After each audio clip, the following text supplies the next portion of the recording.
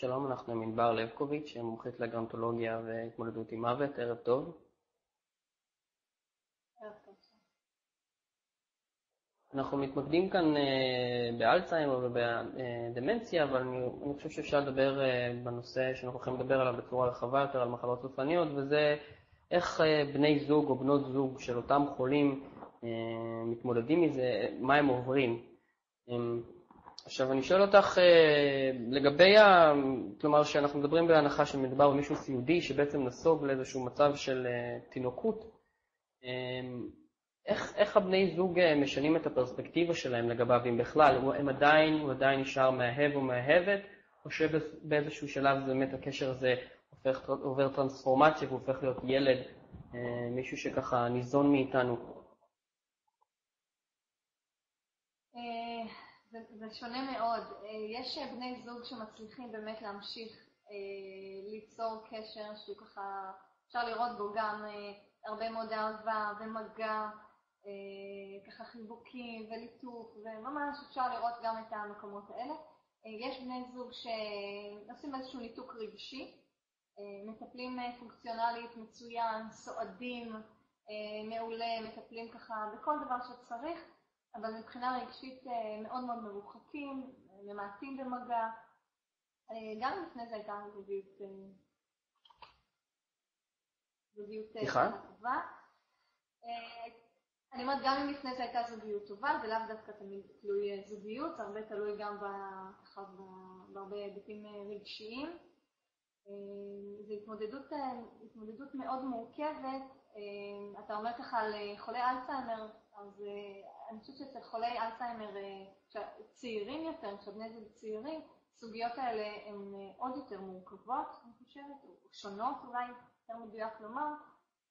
אה, כי, אה, כי הם אנשים צעירים יחסית, כן? יכול להיות אנשים בגילי 50, 60, הבני זוג צעירים, הם צעירים, התמודדות, אה, התמודדות מאוד קשה.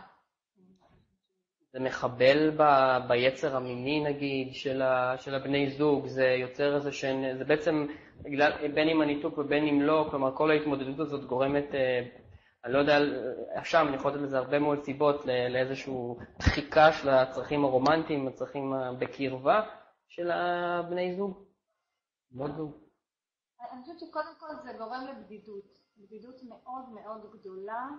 אה, זה בולט גם אצל הצעירים וגם אצל מבוגרים. אה, כי אתה פתאום מאוד לבד. גם אם אתה חוזר אחרי יום עבודה וקרה לך משהו, גם אם קשה לך, גם אם אתה עצוב, גם אם אתה שמח, לא תמיד אתה מרגיש שיש לך עם מי לחלוק את זה.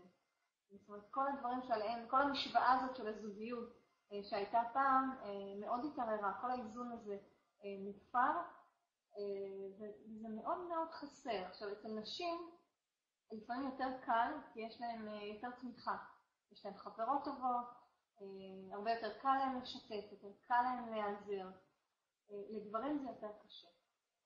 לגברים הרבה יותר קל לשתף בנושאים רגשיים, אני אומרת משהו ככה באופן כללי, אבל הרבה מהגברים יותר קשה להם, אה, ואז הבדידות היא, הבדידות היא מאוד גדולה. אתה מרגיש מאוד לבד, גם בהתמודדות וגם בחיים האישיים שלך. אוקיי, okay, ובוא נצא שנייה, לא משנה באיזה גיל, יש איזשהו מקום שהיית אה, שמה סוף פסוק לגבי הטיפול, למשל טיפול בחולה סיעודי כרוך. בסיטואציות שיש להן, אה, יכולות לרגוע, שבהחלט באמת ככה פורמות כל אה, איזשהו מתח או מסתורין אה, בעלי אופי מיני בין בני הזוג, ויכול להיות שהחשיפה אליהן היא גם יוצרת איזשהו נזק שהוא ככה מוחלט ואבסולוטי לגבי התפיסה של הבני זוג את עצמם כיצורים מיניים ומונעת אפשרויות עתידיות ליחסי זוגיות. אז יש איזשהו מקום שהיית אומרת או ממליצה לאנשים לשים קו ולא לחצות אותו? כן, אני חושבת, קודם כל זה נכון שהרבה פעמים גם ה...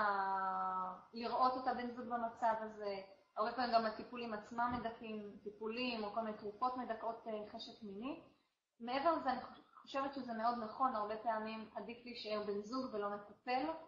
יש אה, אה, הרבה דברים שכדאי להביא מטפל שיעשה, כל מיני טיפולים שהם יותר אה, אינטימיים, אה, אה, בטח בשלבים אה, מתקדמים שהטיפול הוא ככה באמת אה, מאוד מאוד מורכב.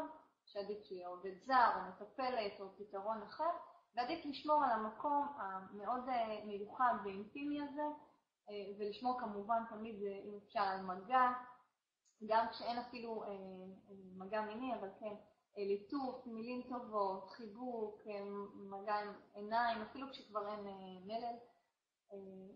המקום הזה הוא מקום מאוד משמעותי בין בני הזוג, בשני הצדדים. אוקיי, תודה רבה לך. תודה רבה.